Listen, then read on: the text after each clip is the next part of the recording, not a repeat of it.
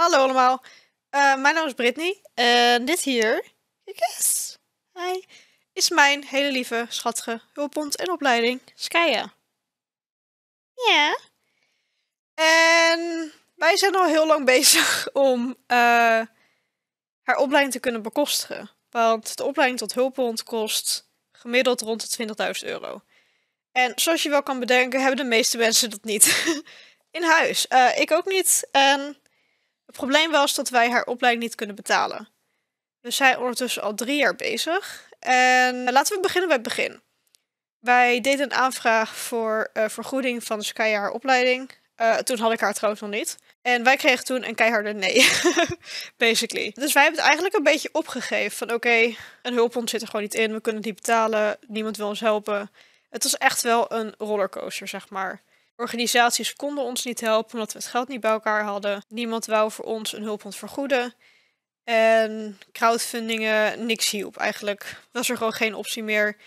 En wij waren gewoon op een punt waarvan we dachten van oké, een hulphond zit er gewoon niet in.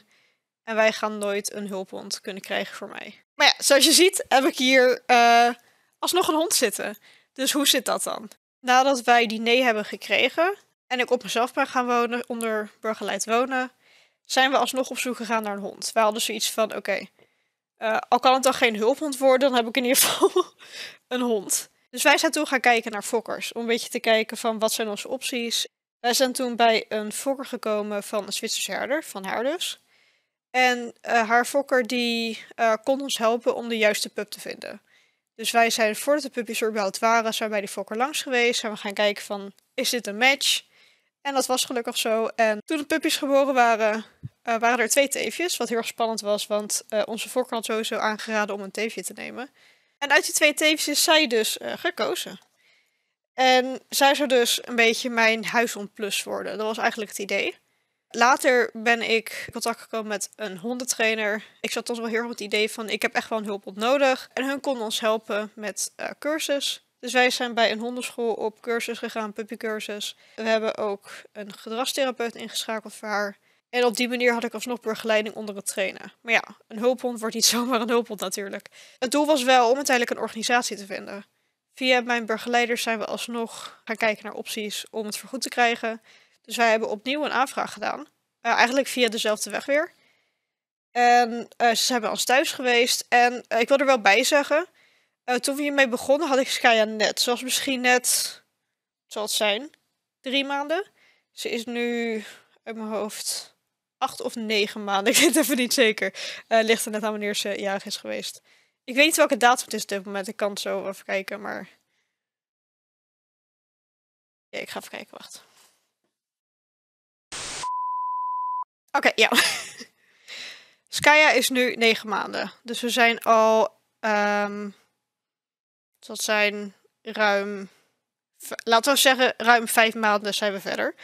Eh, ze was echt nog heel klein toen we hiermee begonnen waren. En nu is ze al bijna een jaar. Dus kun je nagaan. Toen wij begonnen waren met, het, met de aanvraag, was ze gewoon nog een puppy. Echt gewoon mini mini puppy. En nu is het een hond, zeg maar. Dus het is echt wel een groot verschil als in hoe lang het heeft geduurd. En toen we die aanvraag hadden, hadden we op een gegeven moment een belafspraak. eh, tot twee keer toe. Deze afspraak heeft nooit plaatsgevonden. Eh, we zijn twee keer blijven zitten zonder, ehm, zonder de persoon met wie we de afspraak hadden. Dus dat was echt wel een moment dat ik dacht van... ze nemen me niet serieus, het gaat er niet worden, eh, dit wordt niks. dus ik had eigenlijk de hoop opgegeven dat zij vergoed zou worden. En toen werd ik ineens gebeld op mijn werk. Waarin werd gezegd van gefeliciteerd, je aanvraag is goedgekeurd.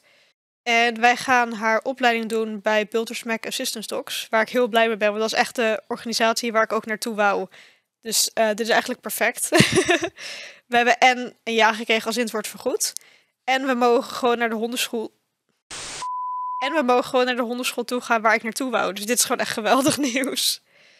Maar goed, we hadden dus een ja gekregen. Eh, en toen, nou ja, toen kwam er nog heel veel wachten overheen. En toen kregen we uiteindelijk een brief binnen. Ja, daar kwam dus ook nog heel veel wachten van.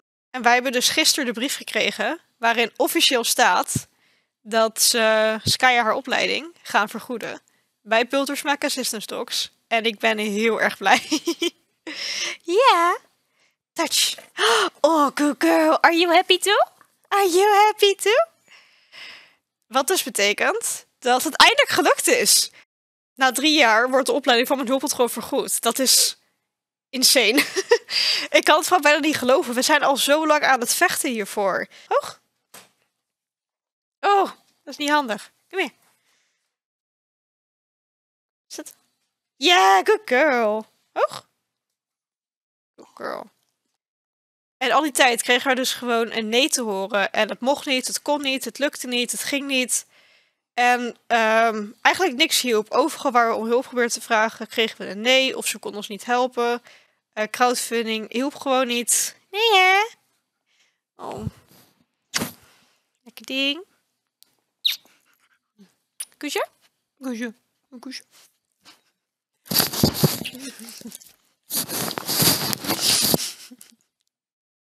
Wat dat nu voor ons betekent is eigenlijk wel heel eng. Want dat betekent dat wij officieel het hulphondentraject ingaan samen. En dat hebben wij nog nooit meegemaakt. Ze heeft wel een gedragstest gehad waaruit blijkt dat ze uh, wel geschikt was. Maar dat was als puppy. En ze is nu natuurlijk, zoals je kan zien, wel een stukje groter. En ouder. Ze is aan het puberen. Ze is een beetje onzeker geworden hier en daar. Uh, heeft ook met de puppyfase te maken. En de angstfase. We zijn heel druk bezig met obedience, met confidence building. Uh, zodat we echt die basis er gewoon goed in hebben. En dan is het eigenlijk maar hopen dat al ons harde werk uh, eigenlijk nut heeft gehad. En dat ze geschikt is. Want wat nu gaat komen is uh, de intake met bultersmekken. Skya moet door een gedragstest heen komen. Om te kijken of zij geschikt is als hulphond. En dan gaan we dus het hele traject in. En ik weet niet hoe dat verder in zijn werk gaat. We hebben ook nog helemaal geen intake gehad.